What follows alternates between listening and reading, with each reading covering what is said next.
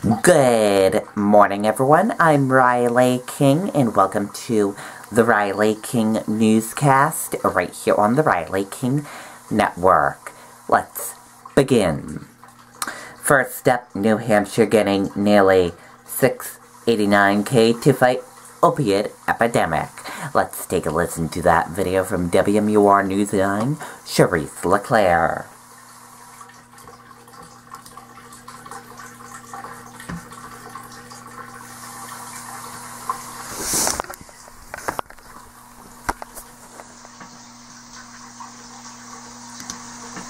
Going to be uh, money well spent. New Hampshire State Police will be putting nearly $700,000 to use, bolstering already existing programs like Operation Granite Hammer and Operation Granite Shield, used to target dealers and traffickers. Because of those operations, state police have been able to glean much more intelligence and analytics. We take that data, and obviously, there's a need to examine it to further these investigations and hopefully uh, you know, do some damage to the, the drug dealers. The announcement coming from Attorney General Jeff Sessions in a press conference with DEA officials today. They announced a three-pronged approach to the nationwide crisis: 12 million in funding, a restructuring of the Drug Enforcement Agency, and we're learning all U.S. attorney offices will designate an opioid coordinator. Sessions saying the time is now, as data shows every nine minutes an American dies from a drug overdose for Americans under the age of 50, drug overdoses are now the leading cause of death. This crisis is driven primarily by opioids. And Governor Chris Sununu was in Washington, D.C. today speaking with Vice President Mike Pence. He says he's grateful for the money, but wants New Hampshire to remain a priority in Washington, D.C. Every dollar helps, um, and uh, we hope more will come. And Governor Sununu said today he thinks this is a great first step in the process and hopes it adds on to law enforcement's success fighting this problem. Live in the studio, I'm Cherise LeClaire, WMUR News 9. Okay, and there you go on that report.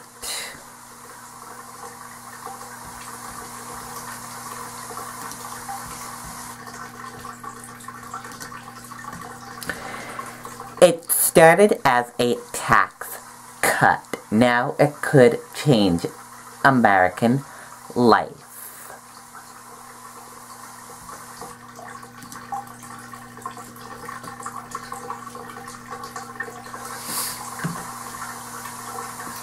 The tax plan has been marketed by President Trump and Republican leaders as a straightforward if economers rebatted for the masses of 1.5 trillion package to cut a sur hiring and economic growth. But as the bill has been rushed through Congress with sanct debate, its far broader reflections have come into focus, revealing a catch-all legislative creative that could reshape major areas of American life, from education to health care.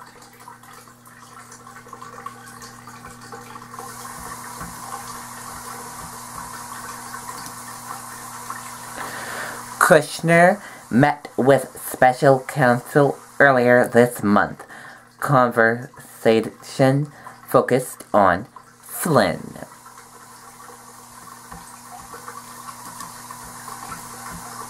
Let's take a listen to the video from ABC News. Man, my sinuses. It's like my head's in a fog. I mean, could you be any more dramatic? I've had it. I'm taking Mucinex Sinus Max. Eh, that stuff's all the same. This is different. It fights pressure, pain, and congestion. Hey, thank you. Those are my three best qualities. Get the straps. Carl, you know that I get car sick. Carl! Mucinex Sinus Max with a triple action formula that fights pain, congestion, and pressure. Start the relief, ditch the misery. Let's end this. Next to the growing investigation into Russian meddling in the presidential election, we're hearing new details from a key participant at that 2016 Trump Tower meeting that's been under the microscope. This is the president's son in law, Jared Kushner, faces new questions from Senate investigators about WikiLeaks. ABC's David Wright is at the White House tonight with the latest. Tonight, the president's son and son in law both face new scrutiny as British publicist Rob Goldstone is finally breaking his silence about that infamous Trump Tower meeting with a Russian lawyer. It was Goldstone who emailed Donald Trump Jr. about dirt on Hillary Clinton from the Kremlin. If it's what you say, I love it, Don Jr. wrote back at the time. Goldstone, a flamboyant promoter who worked with Trump on the Miss Universe pageant in Moscow, now insists he was merely a useful idiot trying to help another client.